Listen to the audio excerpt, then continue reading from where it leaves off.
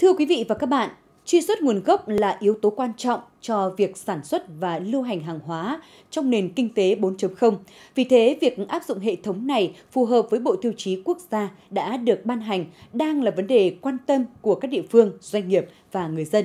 Hội thảo khoa học truy xuất nguồn gốc sản phẩm hàng hóa phù hợp tiêu chuẩn gắn với chương trình nâng cao năng suất chất lượng sản phẩm tỉnh Hưng Yên giai đoạn 2021-2030 do Sở Khoa học và Công nghệ tổ chức đã giúp cho các doanh nghiệp, người dân nắm bắt và hiểu rõ để phục vụ cho sản xuất và tiêu thụ hàng hóa hiện nay. Các doanh nghiệp hợp tác xã và hộ kinh doanh trên địa bàn tỉnh đã được giới thiệu và phổ biến những nội dung định hướng cụ thể trong đề án 100 của Thủ tướng Chính phủ và việc triển khai xây dựng áp dụng cổng thông tin truy xuất nguồn gốc quốc gia, khả năng tích hợp các hệ thống truy xuất nguồn gốc tỉnh, thành phố, cung cấp các kiến thức về hoạt động áp dụng truy xuất nguồn gốc gắn với mã số, mã vạch. Từ đó có thể sử dụng các giải pháp truy xuất nguồn gốc phù hợp với Bộ Tiêu chuẩn Quốc gia. Truy xuất nguồn gốc này là một công nghệ mới, ứng dụng rất nhiều các cái công nghệ thông tin à, và các công nghệ cao khác. Tuy nhiên thì trong thời buổi hiện nay với cái sự phổ biến của smartphone, người nông dân cũng có khả năng tiếp cận dễ dàng hơn với các cái ứng dụng trên nền tảng của điện thoại thông minh.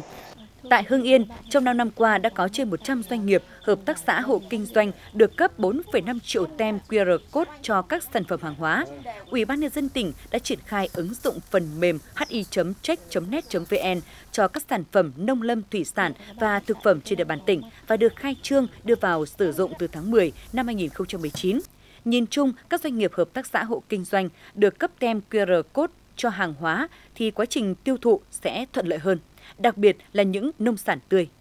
Truy xuất nguồn gốc đánh giá được cái, cái, cái chất lượng mặt hàng nông sản của bà con nông dân khi làm ra, nâng thêm về tổng thu nhập đối với con nông dân so với trước kia tăng 7 đến 10%. Tại hội thảo, các đại biểu đã tập trung thảo luận, phân tích những nội dung về thực trạng triển khai và hiệu quả của đề án duy trì và phát triển hệ thống thông tin điện tử truy xuất nguồn gốc tỉnh, chia sẻ những kinh nghiệm, lợi ích và một số khó khăn vướng mắc trong quá trình áp dụng hệ thống truy xuất nguồn gốc. Không chỉ là nhận biết được sản phẩm có hàng giả hàng nhái mà thông qua mã truy xuất nguồn gốc QR code này thì người tiêu dùng có thể tiếp cận được với những cái nguồn thông tin, sẽ có những cái khó khăn bất lợi cho doanh nghiệp, ví dụ như phát sinh thêm chi phí in ấn hay là phát sinh thêm chi phí nhân công. Ờ, tuy nhiên nó mang lại lợi ích rất là lớn, đó là minh bạch thông tin và từ đó khách hàng họ sẽ càng thêm tin tưởng. Thực tế hóa mà để mọi người mà sử dụng cái chính thức cái hệ thống truy xuất nguồn gốc để kiểm tra cái cái, cái sản phẩm thì nó vẫn còn còn ít phần mềm ờ, mạng.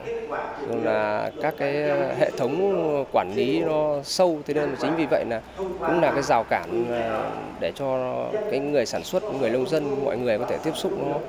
nó khó khăn hơn.